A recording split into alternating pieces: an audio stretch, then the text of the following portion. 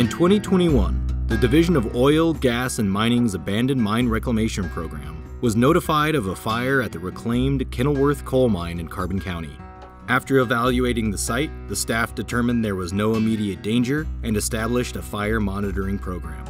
In August 2024, concerned residents notified the program of a significant increase in smoke coming from the hillside above Kenilworth. Due to the steep terrain and unknown hazards, AMRP partnered with the Division of Forestry, Fire, and State Lands to investigate the site using a helicopter. They found a large vent hole that had opened into the smoldering mine below.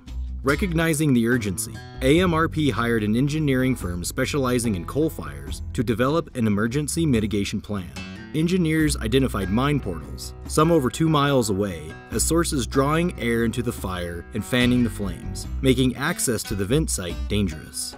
They recommended sealing these portals with fire retardant expanding foam in an effort to cut off airflow and reduce smoke, enabling safe access for the construction crew to work at the vent site.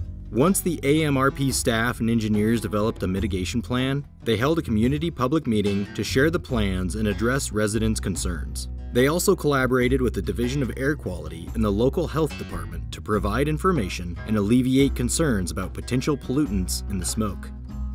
Weekly updates were shared with residents and local media to keep them informed of the progress. Over 11 days, contractors sealed the air intake portals with fire retardant foam, drastically reducing smoke emissions and allowing construction crews to access the fire site safely.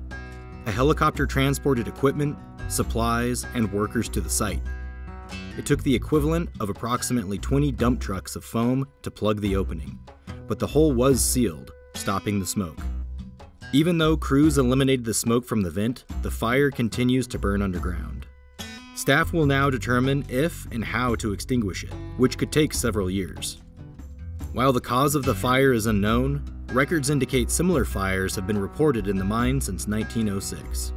The Abandoned Mine Reclamation Program is committed to addressing legacy mine issues by prioritizing public safety, reducing risks, and effectively managing challenges.